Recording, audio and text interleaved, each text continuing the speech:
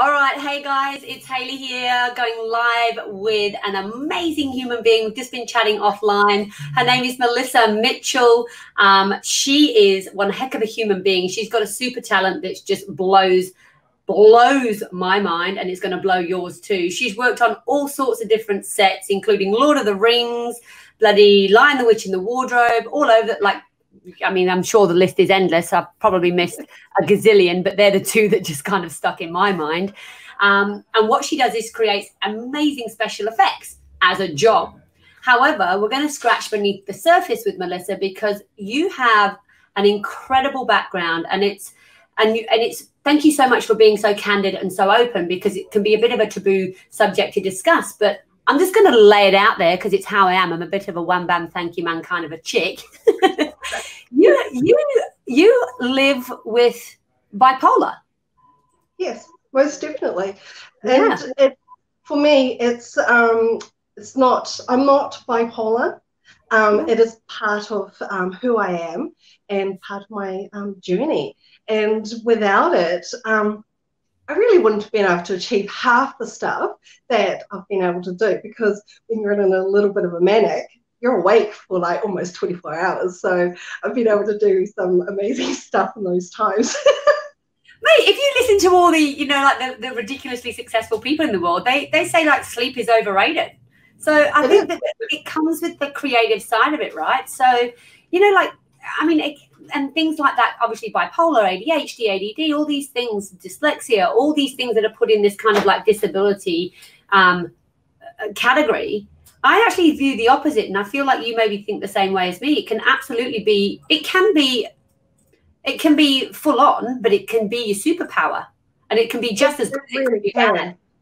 I think society needs to also change their way of looking at mental illness um, as such because um, what what happens is um, we should be looking after our minds and um, when you're actually going through all this it's people should be supporting you and saying you know it's really healthy for you to go see someone talk about it and if you need some mm. medication or something like that don't worry about it you know because mental health without mental health um, then the physical health doesn't follow through. So that's when you start having all your addictions and um, you start getting angry and all those emotions sort of come up. So I think mental health is incredibly important and um, there shouldn't be any shame whatsoever um, around surrounding any of those um, sort of.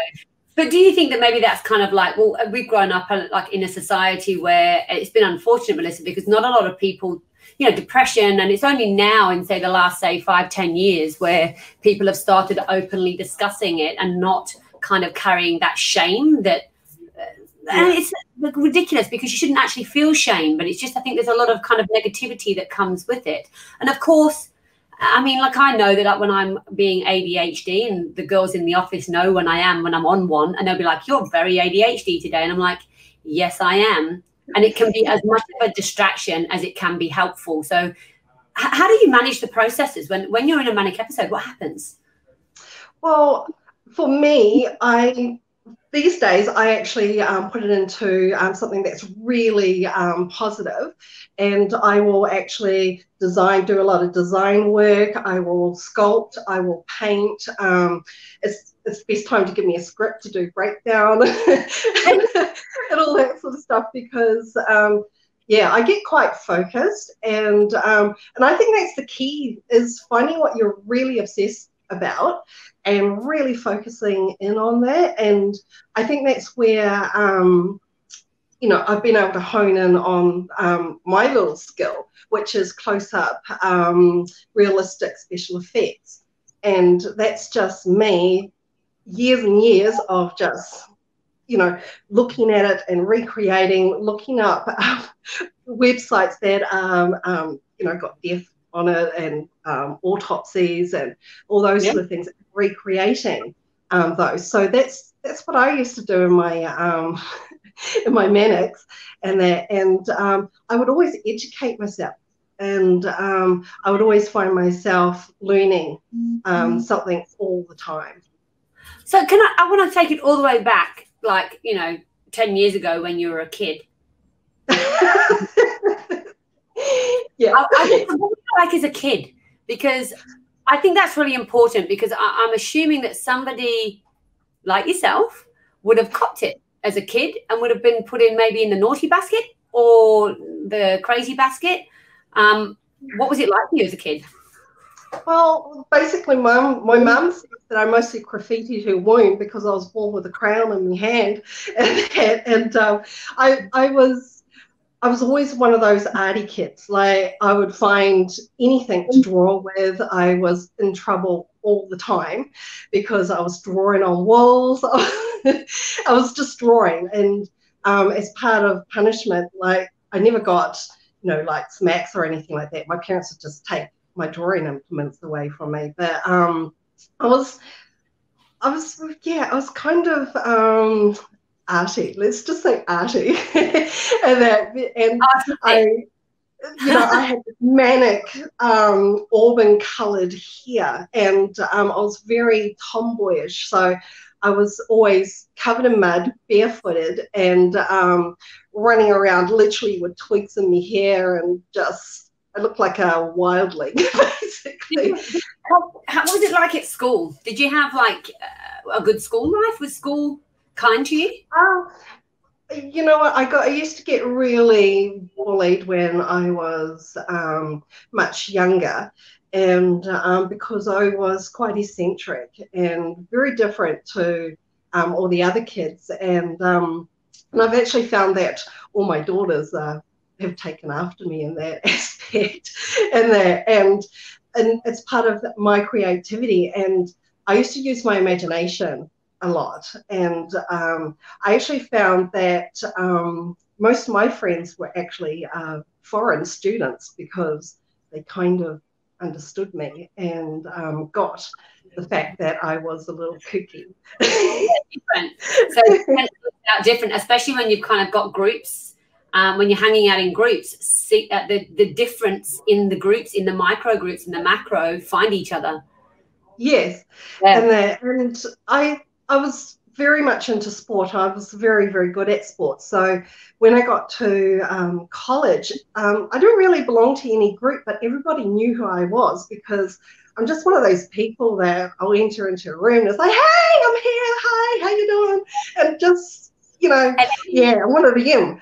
And, uh, um, and so everybody knew who I was, but I kind of kept myself. And you would most probably found me in where they were doing the shows where I'd be painting the backdrops or um, at the time I wanted to actually be a um, builder. So you'd find me in the woodwork um, um, room. You were a doer. yeah. So I've always been one of those that um, that's always worked with my hands and um, you know and just created um, that sort of stuff. But um, yeah no i was yeah i was a very interesting um, eccentric child. You've got a bit of a fan club happening off to the right here melissa. Like tracy's up there. She's like melissa had her first paid job at 12 is that right? Yes. I, I was actually um, um, hired to be a dresser for a fashion show, and um, I, am just barely touching five foot four, and um, you know, my whole career has been working around really tall people, and I'll tell you a story um, after this one, um, and. You know, I was dressing the model and everything like that, and her makeup artist, hairdresser, didn't turn up. And um, and so I said to her, you know what, I'm, you know, I can do your makeup. I, you know, I'm here as a dresser. Where's your makeup? So she pulled out her makeup and um, all her hair products, and I did her hair and makeup.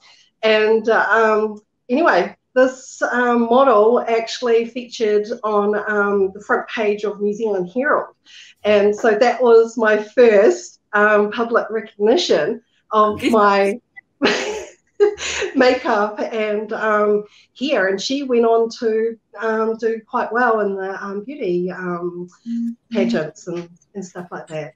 no, I'm actually, I'm uh, like, I know I could, and I want to hear the second story, but like, I've got um, three children, and all of them are quite creative. One of which, in particular, is quite creative, and you know, like the the one. And so, I'm actually going to play this interview back for her because it's so wonderful to kind of hear about someone that's been able to go on and actually use their superpower and and recognize it and I don't know if you necessarily recognized it so early on in in your earlier years. I don't know if you did. Did you? Um, not really. Like, um, I was, was of oblivious to the fact that you could actually do this as a career. Um, yeah. My parents wanted me to have a real job, and because um, art doesn't pay, and um, and to really get my head out of the clouds, and because um, my mum is, you know, she used to work for Revlon as, um, and she used to measure out all the, um, you know, the makeup and the chemicals and everything like that. So that's how I had an introduction to makeup was um, her bringing home these big bags of um, makeup.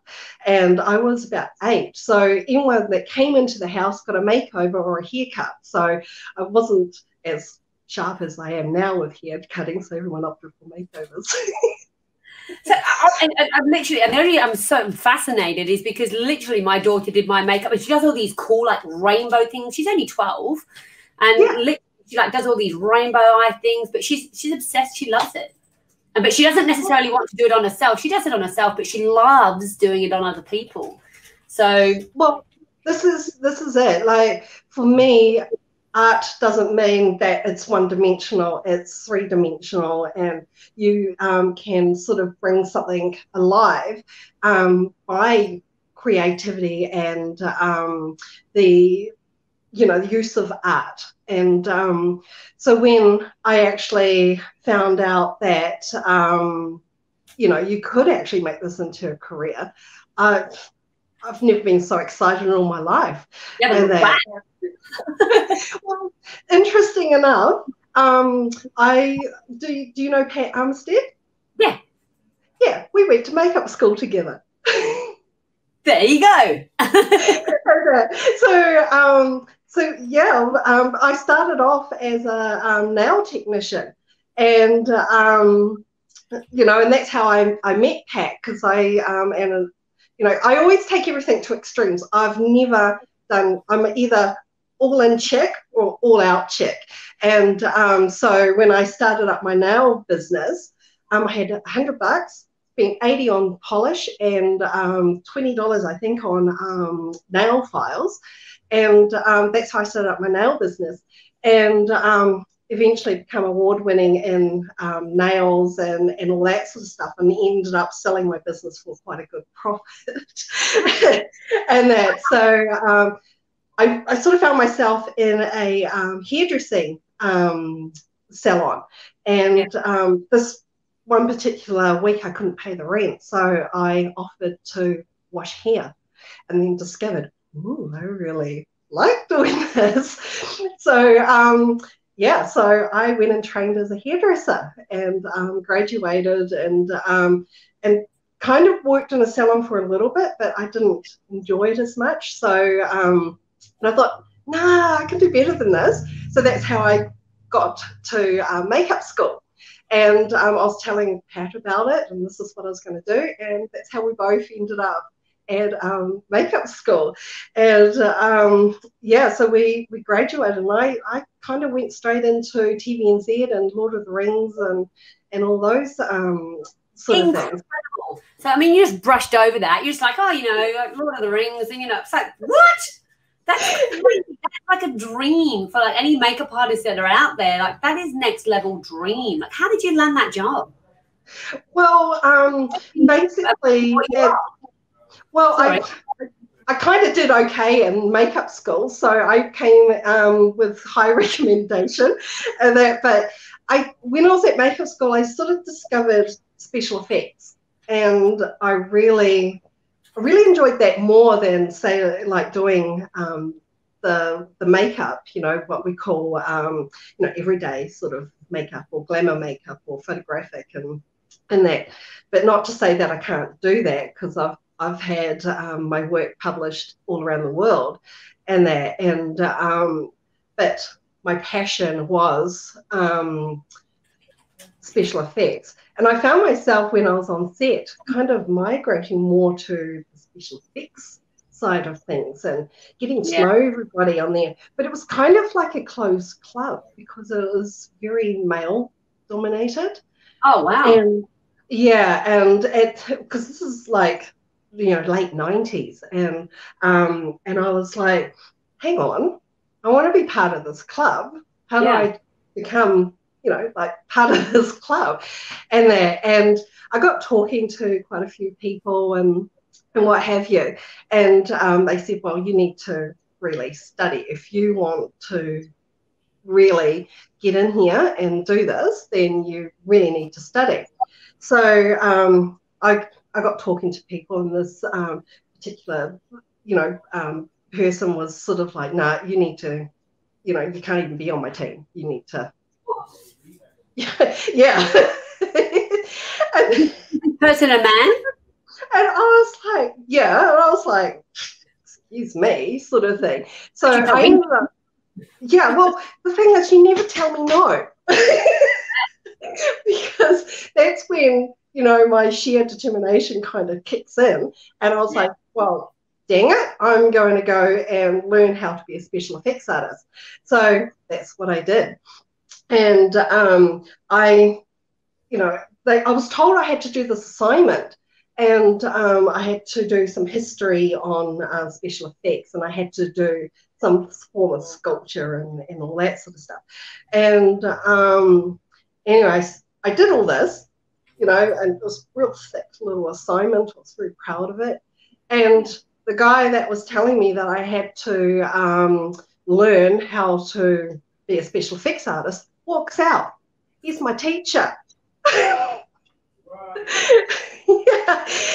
It's, it's, a bit of a joke. He thought he would make me do this assignment and um, do a sculpture just to also see how skillful I was because I was so adamant that I was good enough. Wow. yes. Wow. and uh, and um, so I graduated from uh, special effects school with honours and um, went straight on to Lion the Witch. and they were like, "No, don't want my, don't want you on my team." And They're like, "Uh, can we be on your team?" and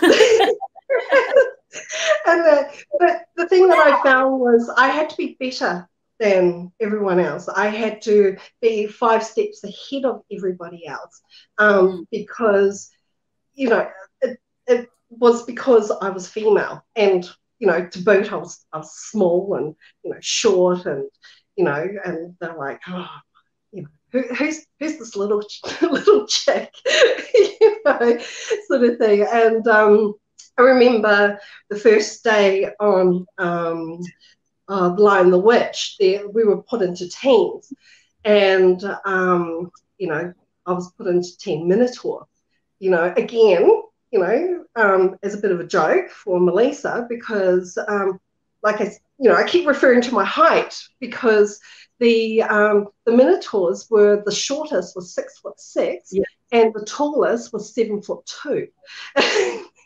and I had to dress these guys in their suits and yeah. get their heads on and carry all these heads. Like I would carry up to six heads, and they were animatronic and they were really super heavy. So I used to bundle them together and carry them behind me like this. And this particular day, um, the seven foot two guy and that um, got had these special gloves. And what happens is that they were really super tight. So you had to sort of stand there like this, and the person had to shove their hand down into the glove. So as they're shoving the hands down, you've got to pull up. And that and I thought I was ready. anyway, he went to shove his hand down. I went to push up and I found myself flat on the floor. and I'm thinking, what the heck just happened? Oh my God. And this guy just picks me up like a rag doll. And I'm, he's got me in front of his face. And he's like, You're right. And I was put me down right now. I was so indignant. you like legs kicking down the bottom. I was so indignant that I'd been picked up like a child. Oh no. that, that, that never happened to me ever again. so I learned um, how to stand properly to yeah. be able to. You had a lot of men, didn't you? There's a lot of like male domination. And was it like yeah. Cop a lot of flack? Because it's okay. I mean, look, the thing is, being in a male dominated industry isn't necessarily a bad thing. It's how it's the behaviors and it's how they conduct themselves in that male dominated uh, environment. Because I know heaps of people that work in male dominated industries, but they have a fun time because the men are respectful and there's no drama and it's okay. Uh, yeah. Was it always like that for you? Did you get a lot of respect or a lot of pushback? What was it like? Well, see, the very first time I realized about sexism in um, industries was when I actually went to job interviews as a builder because I wanted to do an apprenticeship as a builder or a mechanic. And I got laughed out. Nobody would give me the time of day or anything like that. So when I decided that I was going to get into this business, you know, I was I was actually really quite scared about the fact that I'm going to get, you know, booted out. I'm going to get overlooked, and um, just you know treated very differently. And at first, I was, and um, you know, they kind of patted me on the head like so that's one of the things I really hate is when people pat me on the head. So, you know, they kind of pat me on the head and, and kind of pat me on the back and moved me along and, and all that. So it was when I went, hey, no, I'm just as serious about this business as you are. And, you know, God damn it, I'm actually as good as you, if not better. so move your ass over I'm coming in, sort of thing. And when I actually got my big girl pants on and actually went, no, you know, I'm I'm getting in there. And I did. I rolled my damn sleeves up. I got in there and I did exactly the same thing as everybody else was doing. And um, I was lifting heavy things. I was running about. I was doing everything that um, was required of me. And if not more, because you know I'm a girl and I need to show that I'm. you know, and um, so I got I got a lot of respect in um, in that way. That I you know they kind of looked at me in the end like a little sister, and um, you know, and they they never tried like I'd I'd have one or two that would try to sexually harass me, and um, but they yeah, but they got put um, in their place very, very um, quick because um, I'm quite quick witted. And yeah. Um, I will actually, you know, slice you in two uh, with quick wits. Was that peers or just kind of like clients? What was that? Was it just, or was it just people? That was um, some of the the um, boys that I used to work with and, and stuff like that. And but once they realised that you know, I'm here to work. I'm not interested in you. And that yeah. I just want to do my job, you know, yeah. bugger off. And that, um, you know, um, that's when, you know, things were very different for me. But I, mean, I had really. That's part of Sorry? it. And it's part of it. It's not part of it because it's never, it's not like, oh, it should never be accepted as normal. But the reality of life is it's everywhere and it's in every industry. And I think just taking a leaf out of your book and actually making it abundantly clear, standing up for yourself and pushing back is a really great way to kind of, you know, distract or diffuse or whatever have you. But not not to take anything away from anybody that's, um, you know, obviously suffered next level, which is crazy. And I'm glad that that hasn't happened to you. Now, with no. that, yeah. So, like, I want to talk off camera. We were talking. You've actually you're you're a warrior I would describe you as an absolute warrior because you've been through there's certain things obviously with bipolar and it's not and, and i love how you say that you are you're not bipolar you have bipolar. Is that that's yeah. the correct description? Yeah. But i'm quite sure with those types of things you go through stuff and you have self-doubt creep in and then you know you self-medicate. What's that been like for you? Well before I was actually diagnosed with bipolar, um, I, I didn't really understand what was really going on for me. And um, I used to self medicate with um, alcohol. And um, I actually, um, my drinking kind of got out of um, control. And um, it really interfered with me mentally, physically. just sorry to interrupt there, because, you know, because so many people have different limits around alcohol um, and what you would view as out of control and what somebody else would view as out of control. What What do you mean by out of control? What kind of things? How are you behaving with alcohol? Um, basically, um, I couldn't function without alcohol. Um, I would get up in the morning and, you know, like my routine before going to bed was um, have a skull of um, some whiskey and a chase it down with some Berocca so that I didn't wake up with too much of a hangover and. I would get out of bed and um, first thing I'd do was have a drink of vodka and that, you know, because, you know, that's what helps with um, your hangover and, and all that sort of stuff. So it was, um, yeah, so basically I didn't really function without it. And I used to walk around with a bottle, but it was filled with like vodka and lemonade and, and, and, stuff like that, you know, and um, it, I, I felt shame that I was doing this and um, and I was like I couldn't figure out why I needed it and why and you know but I actually found out that this was masking a whole lot of pain and anger and a whole lot of other issues that had gone on in my life and that which is another another story altogether. Um, you know so I was masking all that and then um, it was after my first daughter was born that things got a little crazy and um, I didn't know what was going on. And I had all these really bad thoughts that I wanted to kill myself.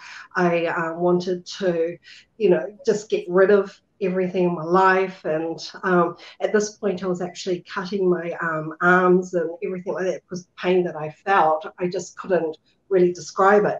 So when I went to the doctor and got assessed that um, I actually had um, bipolar, it gave me a, a certain amount of relief because now I had a name for it, but it still didn't help with the pain that I was feeling. And it was yeah. only when um, I was almost homeless, um, I I'd reached my brink for alcoholism, and um, I was literally going to a church um, one day a week just to to eat because I didn't have enough food to feed both me and my daughter at the time, and that that um, you know I took a real hard look at myself and decided that you know this can't keep going, and I went and um, sought help and um, and basically went to counselling. And the day that I decided that I was going to turn my life around, I went home two sackfuls of um, bottles with, you know, filled with bottles. I, I pulled out of my house, and that, and I had a two bedroom house. Wow. so even when I actually moved out of that house, I still found bottles and that. So give you an idea on you know on where I was at that time, and um, except for one incident that I had last year, which I'm still kicking my own ass for. I hadn't drunk anything for about 16 years. Wow. Wow. Yeah. Mate, I've yeah. goosebumps, covered in goosebumps. Thank you so much for being so honest. Because, and this is, what, this is what it is. I mean, like, there's no point, and everybody's aware of kind of like alcoholism and, you know, and quite often addictions are linked to mental health, underlying mental health. So, and it's nice when you hear somebody like yourself say, there is there are solutions and there is help out there no matter how bad things get that there is always up. How did you what was your up? What i know that you obviously you had a defining moment for you. How did you get the help that you needed and what was the help well, for me, I was really super blessed that I have the most amazing best friend in the entire world. And she actually said, Lisa, you know, you're, you're an amazing person um, I can see it in you. You just don't see it in yourself right now, and you need help. And um, it was the first time someone was actually really honest with me in that. And she, you know, she was like, come on, girl, let's let's do this. So without her love and support, hey Corey, um, you know, um, basically I I would have been delayed, let's just say.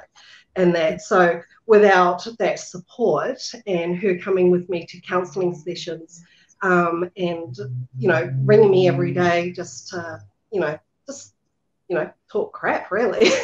Yeah. you know yeah. but it took my mind off things and and what have you. So for me that was so for you, you know, it's counseling and is it medication as well? Do you take medication as well? I started on lithium and that but it really um, took away my creativity.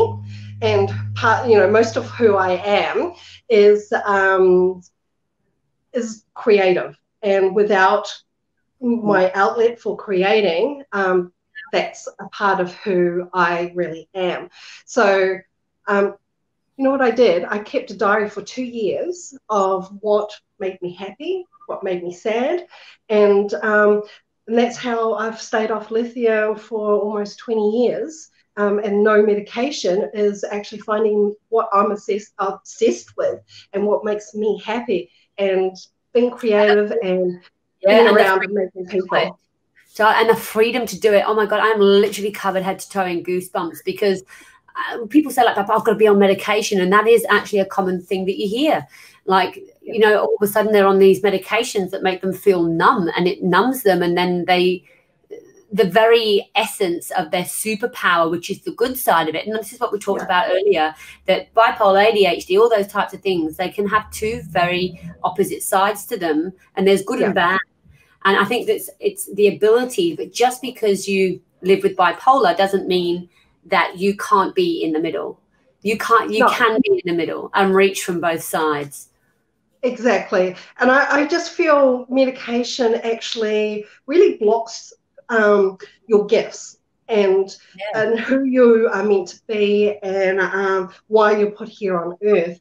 And um, there's a lot of numb people walking around at the moment because um, society has told them that they need to be medicated and that yeah. to stop harming themselves and, and oh, stuff like that. Reach into the fire. I, have got I've got a nine-year-old daughter, and she cops it at the moment because she's got pink hair. And there's a lot of people in society, going off with the comment that you just made, that are very judgmental and have a set way. And it's kind of like I'm thankful now. At the moment, people are actually starting to celebrate creatives and all the rest of it because it's starting to be, you know, viewed as just as important as academics. So I think that when you don't fit in those boxes and you don't tick those boxes and you're the square peg in the round hole, um, it can be quite difficult. And then you do find yourself medicating or eh, trying to fit in or whatever have you, which which just manifests. See, the thing with me is, um, and what I've always kept close to me is to always be your authentic self do not change, do not waver from um, your little quirks, and because that's what makes you um, you. That's what makes you interesting. This is what makes you create things. Is to be your authentic self.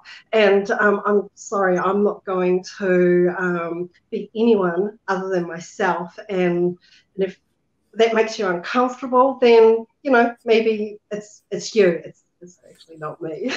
yeah. Or we don't have to, that's okay. Like, and you can literally say, if it does make you uncomfortable, that's okay. We don't have to share space. Yeah, exactly. And I allow other people to be who they are. And, um, and I've learned a lot from um, other people that actually live within their authenticity as, as well.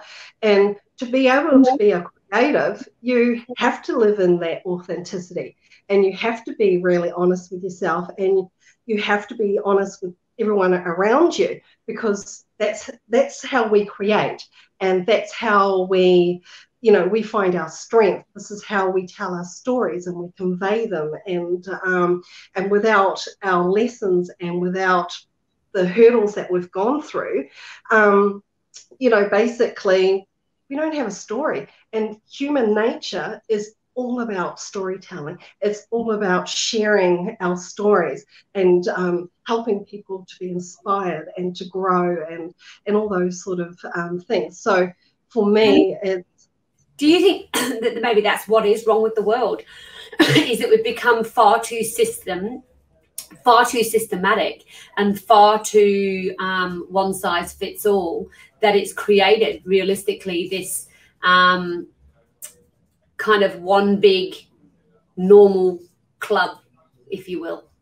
Yeah, you know, because um, even my middle daughter at the moment, she's ADHD, and she she's like a mother. She's a triangle trying to fit into a circle society, and it, it doesn't work for her. So um, I keep saying to her, just be yourself. Yeah. You know, um, if you want to have as many piercings as you want, you know, we just stop at the tongue thing. But um, that's that's that's up to you.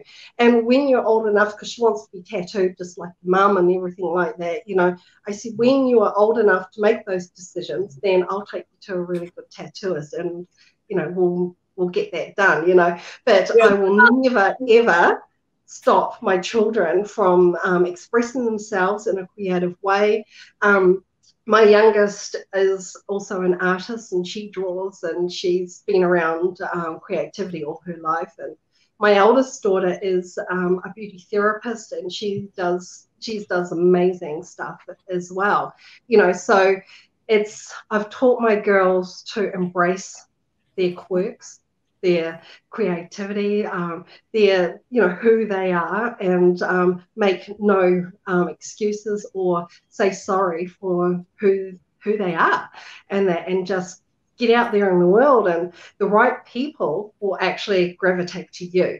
And um, the ones that don't gel with your vibe kind of just you know wither off into the corner and they go off into their own tribes. They can do what they want yeah and this is it. Exactly. Oh my god, I'm covered in goosebumps. You actually made me tear up there for a minute. I'm like, don't cry, don't cry. It's quite literally my nine year old. I am going to show this to my um, youngest, my nine year old. She will literally. Sorry, can you? Sorry. God, there's people walk into my studio. I'm just like, for God's sake, close the door. But she's nine years old, and she's actually honestly copying it at the moment on social media because like I don't like and there's people like saying things like you know she's going to get tattoos and piercings and she's going to be a lawbreaker. And i'm like you know to those people i say i hope so. I hope so. I hope she does exactly what it is that sets her sets her on fire. Melissa thank you so much for being so honest so raw so real so um authentic but actually authentic not just that cool marketing thing. Um I would love to have you back on here because I think that your whole energy, your whole vibe, and everything that you stand for is doesn't just inspire young people. It's it can literally inspire anyone that's actually going through oh, similar situations. Not similar situations. Chick, I think you rock. You're amazing. You're our people, and this is why we started Obsessed. Thank you so much for joining us. Thank you for asking me. That's amazing. See you again soon. Hey.